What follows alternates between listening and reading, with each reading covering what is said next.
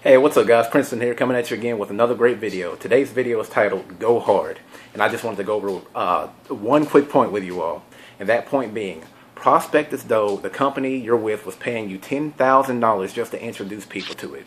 So basically, what I really, really, really want to stress to you all is make sure that your energy is on point. Make sure you're being positive because negativity runs people off make sure you have everything down packed. I'm talking about, and I mean this from an in-person sort of standpoint. Make sure you're making direct eye contact.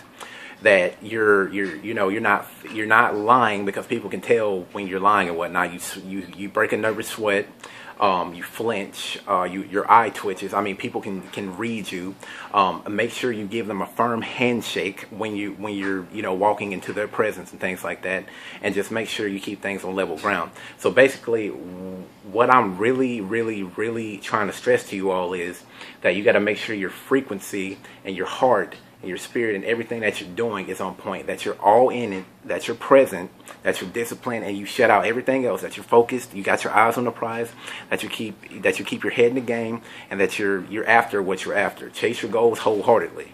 So basically, that's all I want to cover in today's video. That concludes today's video. But if you like today's video, be sure to like, comment, share, and subscribe or for more hands-on one-on-one uh, or more hands-on details about what I'm trying to touch base on, be sure to and feel free to click on the link down below in the description box or more or for more hands-on one-on-one coaching with me personally, be sure to and feel free to get in contact with me in my social media down here in the bottom right hand corner of my channel art and we'll chat. So guys, I hope this helped out in some way. Uh, helped you to really just get your mind zoned in on what it is that you're doing and just help you get to that, that next level. So until I see you in the next one, happy marketing. Peace.